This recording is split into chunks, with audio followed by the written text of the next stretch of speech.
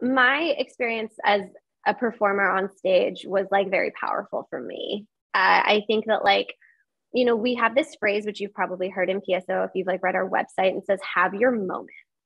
And the moment that you're having or that I think you should be having, I guess is the one that I've had, you know, a bit when I perform.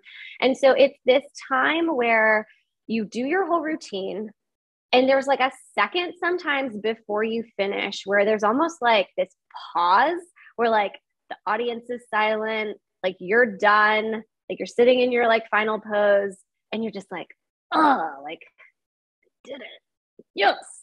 And it's that moment that I want people to be having like when they're on stage. And so when I can see people like visibly having that, like that to me, I'm just like, oh, I got it.